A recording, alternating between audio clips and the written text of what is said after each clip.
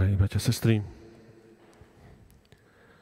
keď som prednedávnom bol v Južnej Amerike, som vošiel do jednej krásnej katedrály, bola obrovská, mala strašne veľa e, takých kaplniek ešte po bokov. A tak som si tie kaplnky pekne pozeral.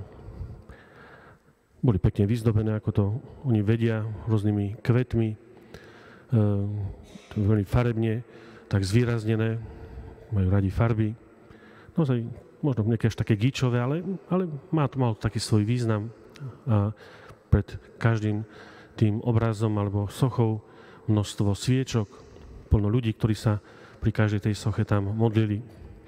A čo ma tak zarazilo a prekvapilo možno, okrem mnohých takých známych svetcov, bolo tam asi 6 oltárov, ktoré boli mariánske.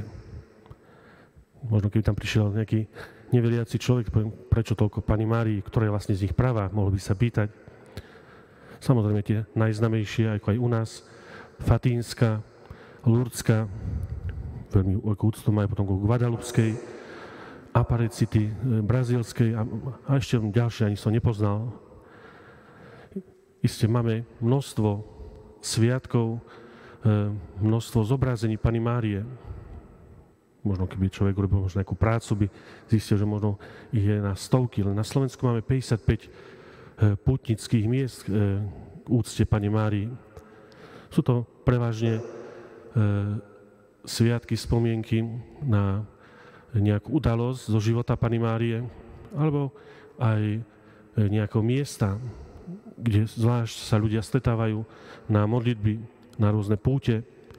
A či už u nás to je Levoča, Šaštin, kde ľudia prichádzajú, aby sa posilnili vo viere a zároveň sú to miestami modlitby, kde človek cíti takú e, možno bližšiu Božiu milosť, bližšiu pomoc, robia sa tam mnohé e, zázraky, aj telesné, aj, aj zvlášť e, duševné, duchovné, mnohé obrátenia, mnohé zmeny života.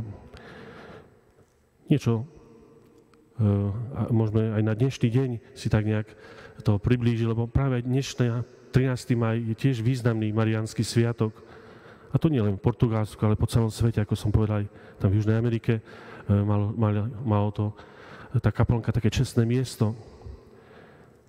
Vieme, že cez tieto aj putinské miesta Pana Mária sa nám prihovára, aby nám pomohla ako matka, ktorá sa stará o svoje deti, chráni ich, chce ich priviesť naspäť na správnu cestu a hľada spôsoby v každej dobe, ako nejak nás upozorniť alebo ochrániť e, v tých rôznych nebezpečenstvách. A zvlášť to bolo cítiť aj práve 13. mája 1917,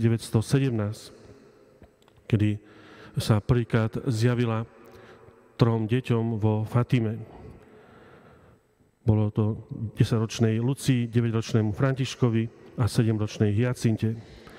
Bolo to obdobie, e, ktoré bolo veľmi poznačené mnohými e, nepokojmi.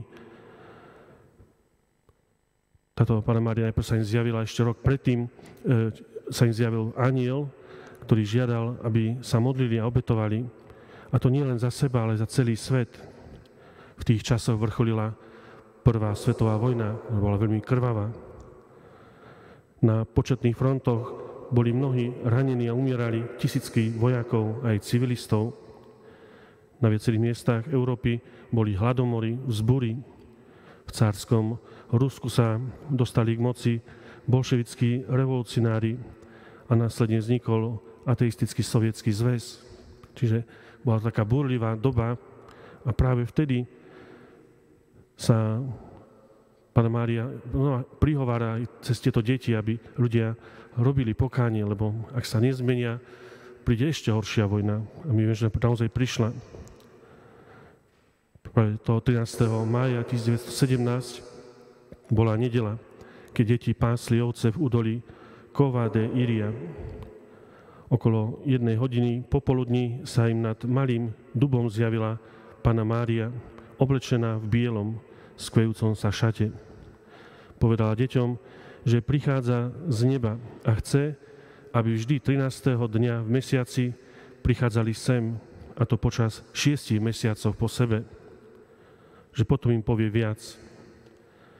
Hneď správa o zjaveniach a to e, sa veľmi začalo e, šíriť. Zbudila veľký záujem všetkých obyvateľov, nielen veriacich. A keď e, aj tí veriaci chceli nejaký dôkaz, 13. oktobra, e, keď bolo posledné zjavenie, mal sa udiať aj taký zázrak. Prišlo do údolia vtedy asi 70 tisíc ľudí, ten deň pršalo, bola zima a fúkal nepríjemný vietor. Všetci boli presvedčení, že ak sa udeje zázrak, bude to potvrdenie pravdivosti Maríných zjavení. Ak nie, deti budú vyhlásené za podvodníkov a veriaci, zvlášť katolická církev, budú veľmi zosmiešňovaní. A vtedy okolo poludnia dážď ustal, deťom sa zjavila Pana Mária a spoza mrakov vykúklo slnko. Krátko na to sa stal zázrak, ktorý nazývame tanec slnka, ktorý videli všetci prítomní. Úplne jasné slnko sa začalo točiť a meniť rôzne farby.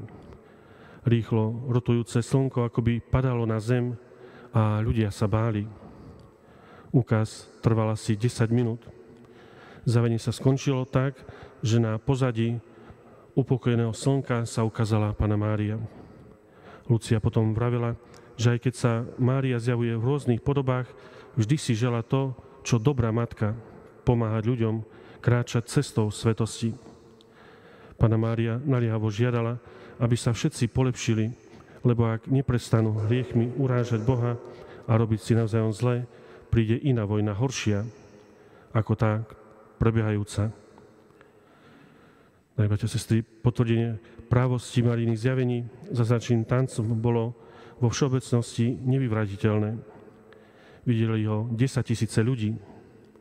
Pozorovaná rotácia slnka sa nedala uspokojivo vedecky vysvetliť. A žiaľ, naplno sa aj varovanie, naplnilo sa varovanie Božej Matky. Prvá svetová vojna sa skončila, po nej prišla ešte horšia, druhá svetová vojna. Posolstvo Matky Božej Fatinskej je plné materinskej lásky. Ukazuje ľudstvu cestu, ako kráčať v svetosti. Iba pokánie je jedinou cestou k morálnej náprave.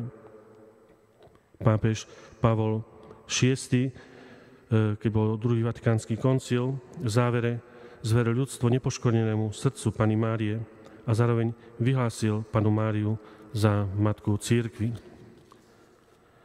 Čiže také hlavné posolstvo, ktoré je stále aktuálne, patrí aj do dnešných čias, dnešnej doby, čo tam veľmi zdôrazňovala, pokánie, pokánie, pokánie, ako aby sme sa uchránili ešte horších vecí, ktoré môžu prísť.